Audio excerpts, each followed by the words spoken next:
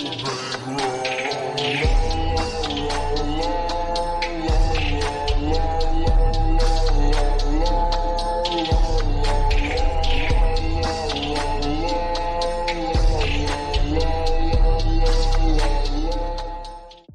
guys, it's Thunder Splash, and in this episode we're going to be talking about how to create a dash system in Unreal Engine 5.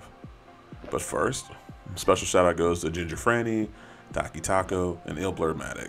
I appreciate you guys' support. You guys are the new subscribers the last couple days, so thank you once again. And with that being said, if you're new to the channel, go ahead and hit that subscribe button. And while you're at it, go ahead and hit that notification bell as well so you guys can be updated with the latest and greatest videos every week when I post new videos. All right, let's get into it. All right, so first we're gonna go to Unreal Engine Marketplace and we're going to look up Dash Effects. After that, I'm gonna import it into my project.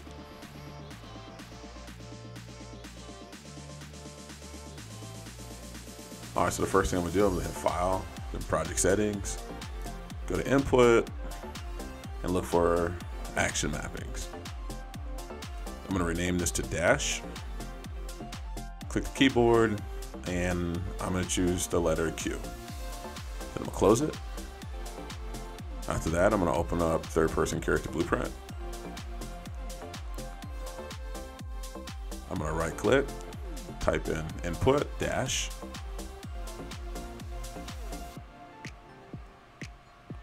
I'm gonna go to components, add, look for a Niagara particle system, make sure it's connected to the capsule, and drag it onto my event graph.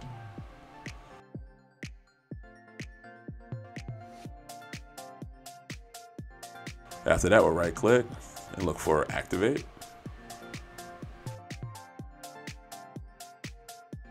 Then we'll connect input press to activate. After that, we're gonna get the character movement. Right click, look for set max walk speed.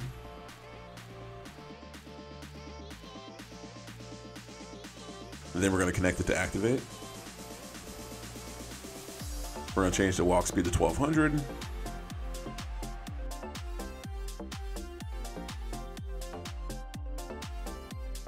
Right click, look for set max acceleration.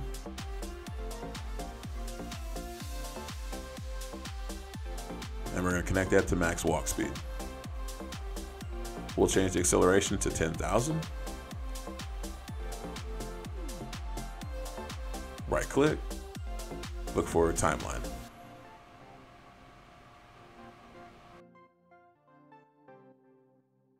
We're going to break this part and we're going to connect it to play from start. Open it up. Now we're going to add a float track. Change the length to one second. Add a keyframe. Make the time zero and make the value zero. After that, we're gonna add another key. And we're gonna change the time to 0.25 and the value to one.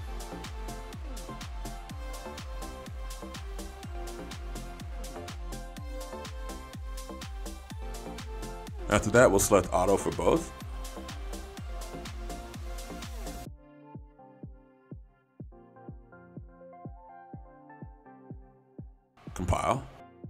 To the event graph, grab the character movement, and next we're going to grab the capsule movement.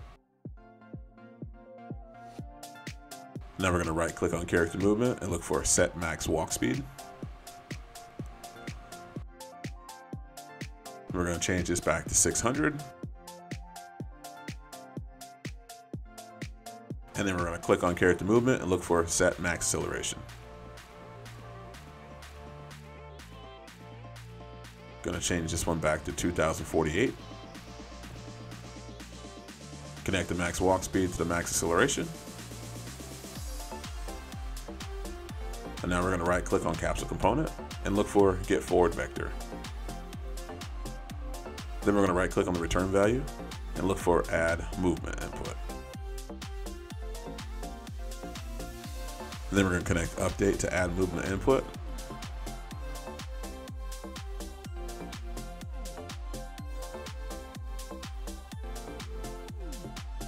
connect finished to max walk speed. All right, so now we're just gonna check to make sure this looks correct.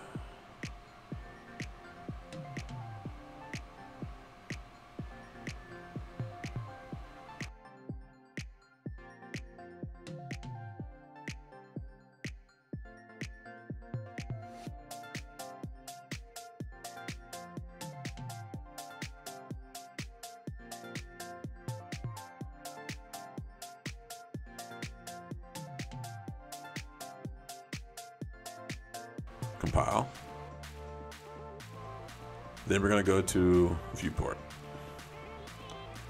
Next, we'll click on Niagara. And then we're going to select the particle system.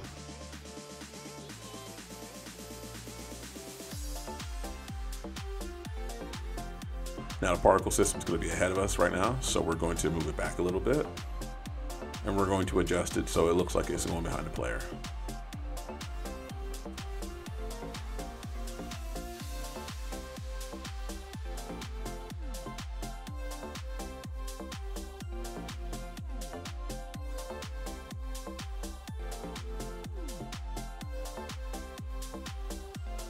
After that, we're going to click Auto, and we're going to deselect Auto Activate. This is going to ensure that the particle system only activates when we press Q. Compile, go back to third person map,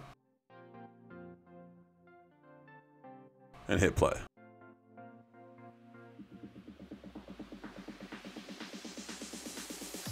All right, there you go.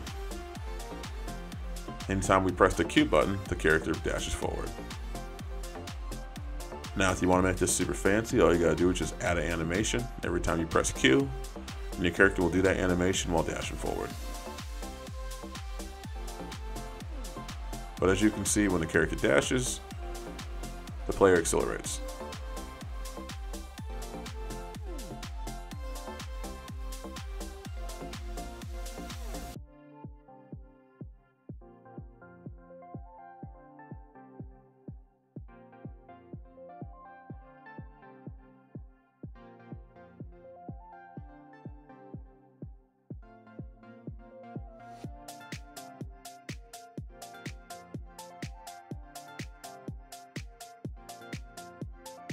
And here's a good example. If we don't press the letter Q and the character jumps, they won't be able to make the jump. But if we press Q, then the character can dash forward and make the jump.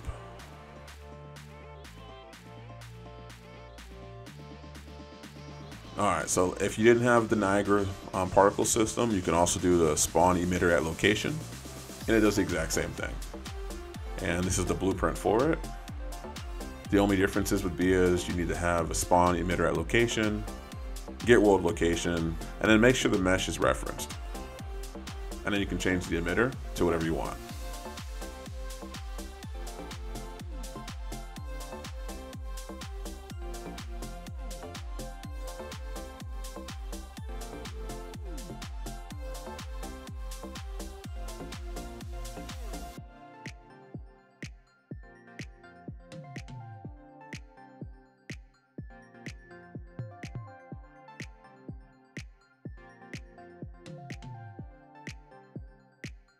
All right, so now let's see the difference with the spawn emitter.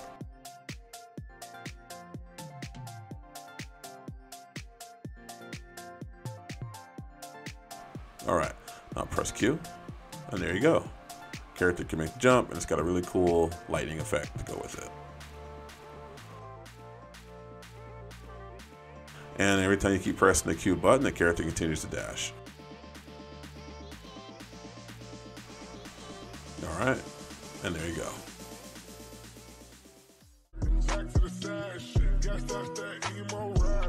Hey guys, if you like these type of videos, don't forget to like, comment, subscribe, hit the notification bell, share this video, and I'll see y'all in the next video. Later.